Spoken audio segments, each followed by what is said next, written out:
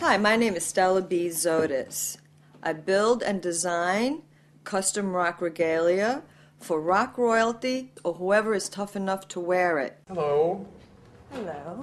And this is uh, basically like the top I have on, but different. It's more like bikery and with a Yeah. camo. I was a rock and roll makeup artist, and I was doing makeup for Debbie Harry. In 2003, she commissioned me to make her an outfit. Prompted me to open up my own store. That lasted for about a year and a half because that store was freezing cold. I couldn't sew in the winter time. This is where I came from, my store days, two years ago, okay? And where are things made?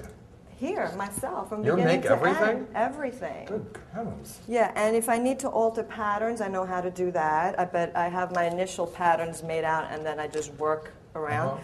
I hammer, I bang, I snap, I grommet, I paint, I distress. But I decided to go do something different where I want to go with my stuff. This is the only fabric I had at home.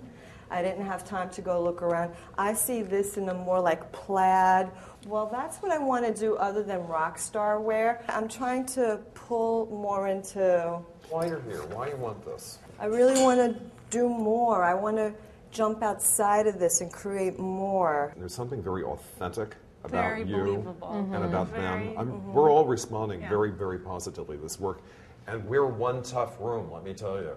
I know, I've seen it. I mean, I'd love to see what you could do bringing this into a more accessible I wanna do collection. that. And I think that I think it could be amazing. I do too. So we're going to move you forward. Oh, Congratulations. Thank you. I want to get myself out of the underground and into the overground. See you on the runway.